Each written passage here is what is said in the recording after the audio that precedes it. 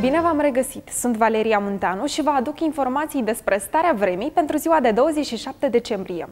Avem parte de o nouă zi cu vreme primăvăratică și frumoasă. Atmosfera va fi plăcută în toate regiunile țării și ne vom delecta cu multe momente însorite.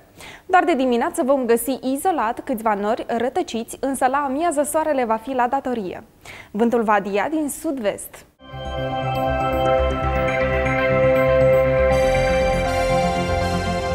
Nordul țării se anunță o zi senină cu mult soare. Dimineața vom avea minus un grad, dar până la prânz se va încălzi până la 9 grade. În centru câțiva nori vor împânzi cerul în prima parte a zilei și se va înregistra plus un grad. La amiază se va însenina, iar maxima zilei va urca de asemenea până la 9 grade. În sudul țării dimineața va fi puțin înorat și se vor înregistra plus 2 grade.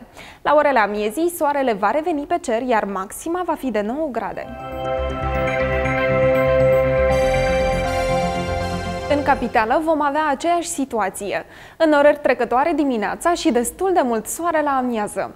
Pe timp de noapte vom avea 2 grade cu plus, iar ziua o maximă de până la 8 grade. Cam atât despre vremea de la noi.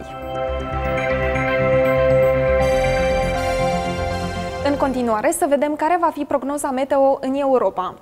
La Kiev dimineața va fi senină cu 0 grade în termometre. Ziua, vremea va fi posomorâtă cu plus 4. La Moscova, vremea va fi tristă, iar cerul acoperit de nori plin de umezeală. Maxima termică va fi de plus 1 grad. La București va fi o zi caldă, însă cu înorări de dimineață. Temperatura maximă va atinge 10 grade. La Roma vor cădea precipitații însoțite de descărcări electrice. Maxima zilei va fi de 12 grade. Parizienii, de asemenea, vor avea o zi ploioasă. Dimineața vor fi 5 grade, iar la amiază 4. La Barcelona, vremea va fi bună și se anunță o zi senină. Dimineața vor fi 10 grade, iar la prânz 13. La Istanbul vor fi câțiva nori de dimineață și 11 grade. La amiază, soarele va fi la datorie și vor fi 14 grade. La Londra nici urmă de soare, în schimb vor fi multe umbrele. Vremea va fi mohorâtă și vor cădea picături de ploaie toată ziua. Temperatura nu va depăși 2 grade.